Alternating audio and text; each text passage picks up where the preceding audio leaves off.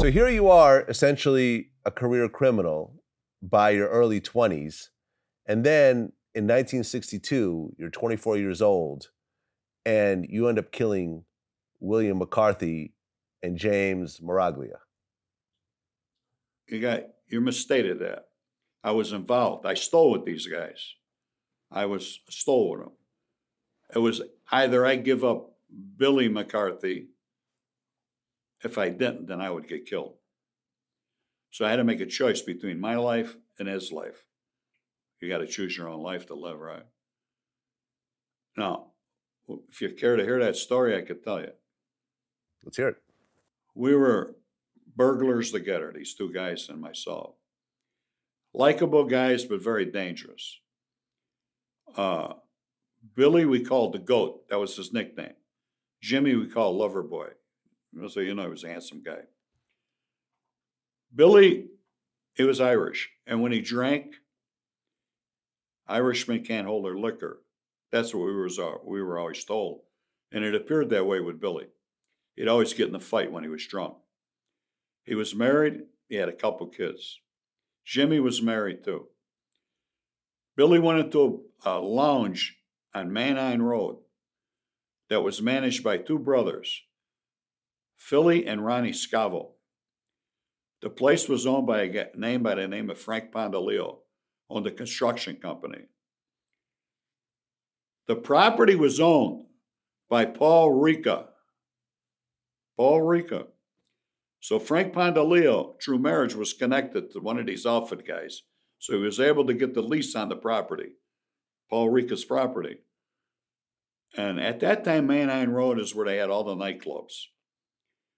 So these two brothers managed a joint for Frank Pondaleo. Now they know Billy. They knew him because we're all from Grand and Ogden, actually. So Billy went in there several times, and one night he goes in there and he's drunk. So he gets in an argument with Ronnie. So they throw him out of the place. He didn't like that. He had a lot of pride. He comes back, he complains to me, telling me about it. I tell him, Billy, you were drunk, forget about it. There's a no win over there. And uh, I'm gonna, yeah, he's going on. And I said, forget it. He tries it again a week later. They beat him up and throw him out again. Now he comes back, he says, I'm gonna kill him. You coming with me? I said, Billy, think about it. And I told him what could possibly happen. I said, he said, they'll never know. Nobody will never know we done it. I said, give it a break. Let it relax. Don't go there no more. Next time he goes back with Billy, I mean with Jimmy, they both get the shit kicked out of them, thrown out of there. They come back to me. Are you going to come or not? I said, Yeah, I'll go you. We can't even breathe a word about this. We went out there three or four times, I'm not quite sure. But every time we went there, we went there with a work car and guns. A work car is a car that's fictitiously owned, plated, and so on. I live close to the Black Door, my house. So to kill him, if we kill him there, it was easy to get to my house, stash the car, and get out of the area before, you know, anything. So every time we went there, they left with a girl. And I said, I ain't killing no woman. I said, she's got nothing to do with this. So Billy says, she's a waitress in the joint. I said, what do you want to, what do you want? You, you can't kill her. What's the matter with you? So on the third time, I said, I'm not going to keep on coming here if this woman keeps on coming on. Okay, okay, we understand. Now, this particular night, the fourth time, I believe, I was in a bowling alley called High Top because we used to bowl like anybody else. And I'm with her with, with this girl. Her name was Debbie. First time I got her, I was going to get lucky. And I said, ah, I'm going to get lucky with her finally. She just got married. She was going to cheat. So here comes Billy in the bowling alley. He knew where I would be. He's got a hoodie on. And I tell her, have a seat, I'll be right back. I walk up to him, I said, what's up? He says, Jimmy and I are ready to go. Are you ready to go? I said, Billy, I'm with this Aubrey. I call her Aubrey. I'm with this Aubrey over here.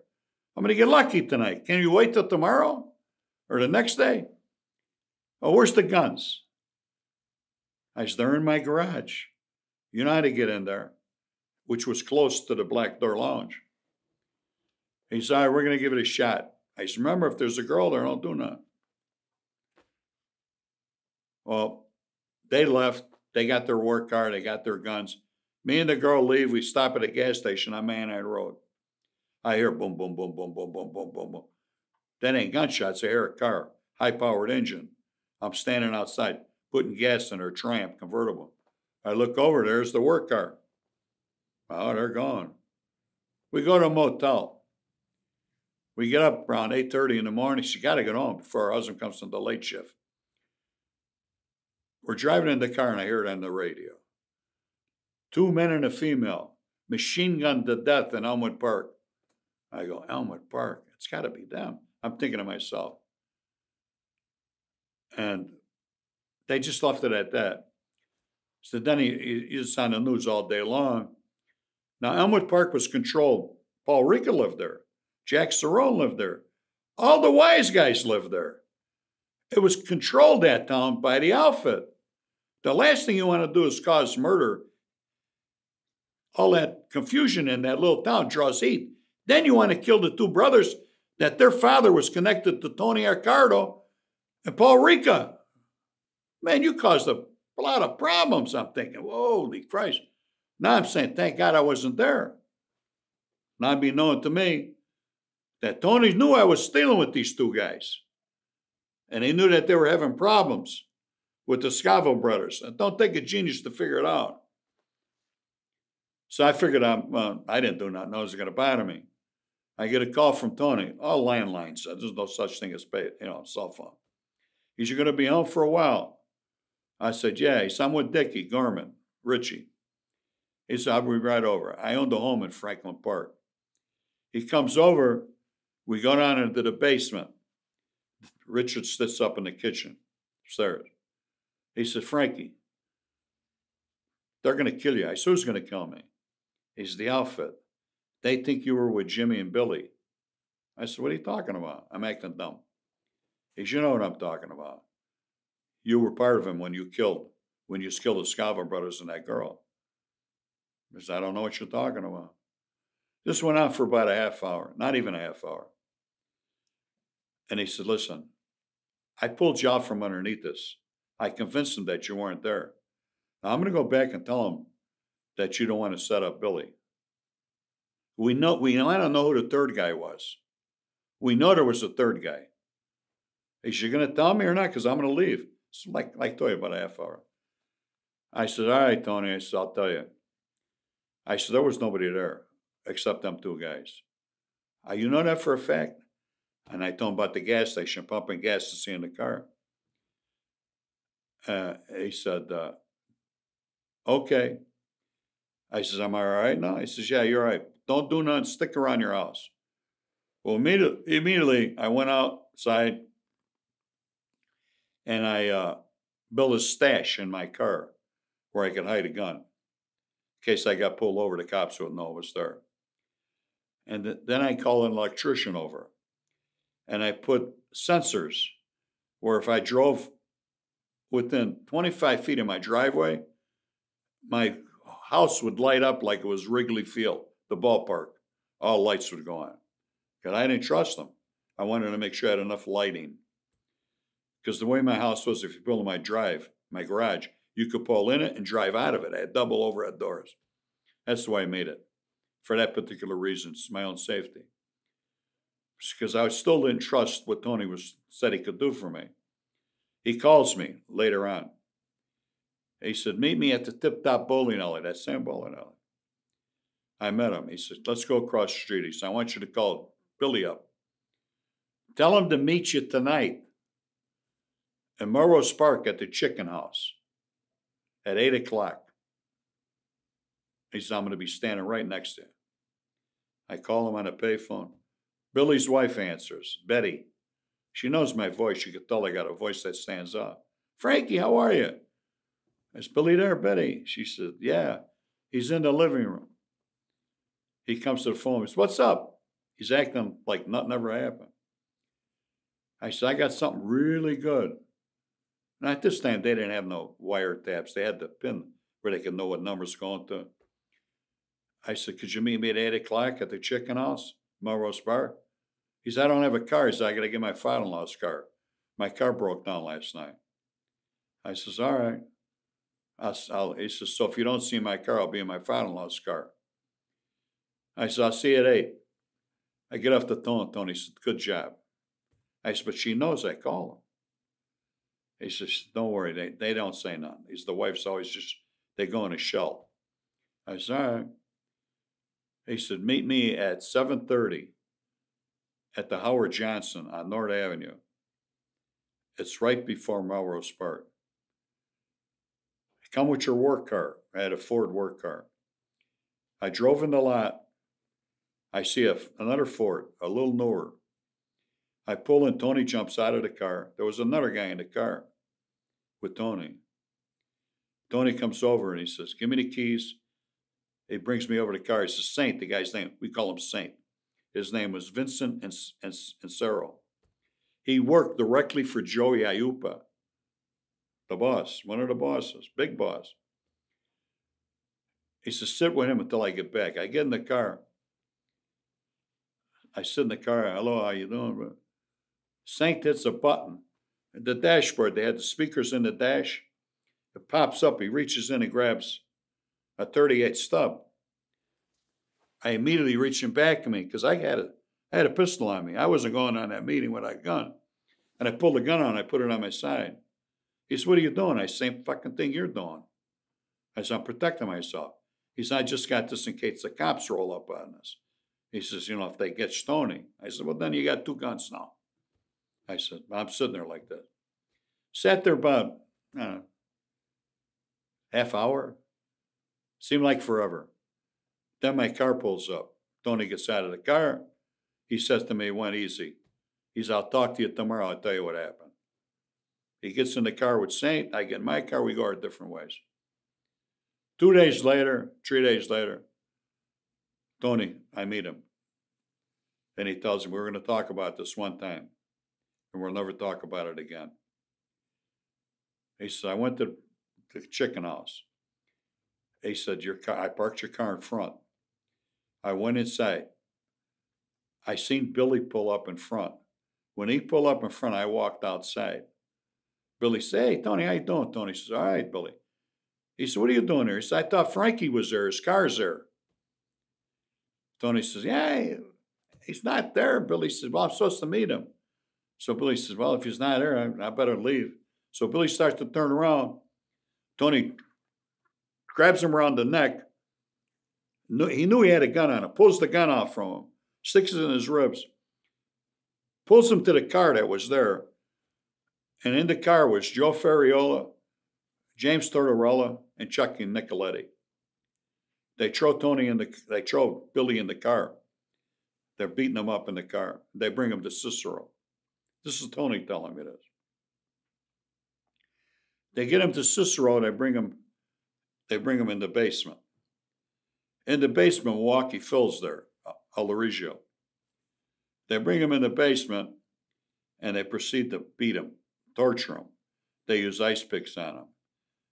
They did everything imaginable to make him talk. They wanted him to talk, to tell him who the third guy was. He refused to tell him because there was none. So finally, what's his name? Stick his head in the vice. Let's see if he talks now. Tony said, I jammed his head in the vice. Not like in the movie Casino, downward. He's we spun the vice. The vice only goes so far. So we had to jam his head in there. Squeeze the vice. He said, I never expected this to happen. His eyeballs popped out. He said, they hang on a, a cord. I never paid attention to that shit. I went back, he said. Now, Frank, he said, we did ice picks in his testicles. We tortured this guy. He said, finally, the guy said, I'm telling you, there was nobody with me but Billy. Please kill me. He said, that's when I proceeded to cut his throat. He said, now we had to get Billy, Jimmy. Without Billy, without Jimmy knowing Billy disappeared or Billy was dead. So that means we had to keep him on ice until we got Jimmy. He said, That was one tough Irishman, Frankie. He said, Now we'll never talk about this again. And if you run into Billy, Jimmy, I'm keep on saying Jimmy, Jimmy, if you run into Jimmy within this period of time before we get him, do not talk about Billy. If he asks you, say, I haven't seen him. Would you believe the following night I ran into Jimmy at the Colonial House restaurant on Harlem and Grand? I walk in there, Jimmy's cheating. He's with a broad. He just got married, this guy. So, hey, Frank, what's going on? I remember we were crooks together.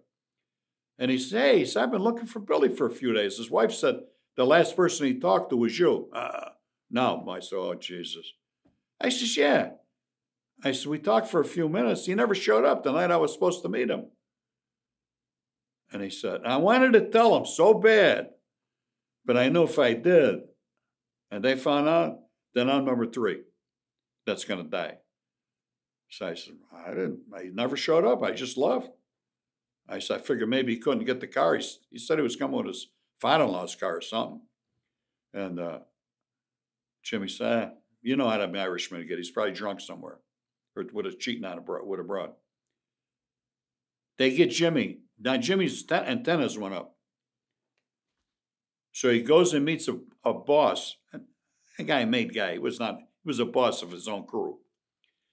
The guy uh, had a lounge in Niles, Illinois. And he goes in there and he tells the guys, listen, I got a, I know I got a problem. You got to help me out. And the guy said, all right. He said, let me get a hold of the bosses and I'll contact you in a couple of days. So that night, Jimmy decides to go drinking. This is all documented, anything I'm telling you. To a lounge in Chicago.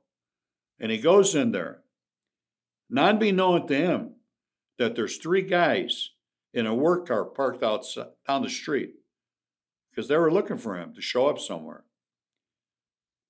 They were armed. They had stashes in the car with guns, rifles, everything you think of.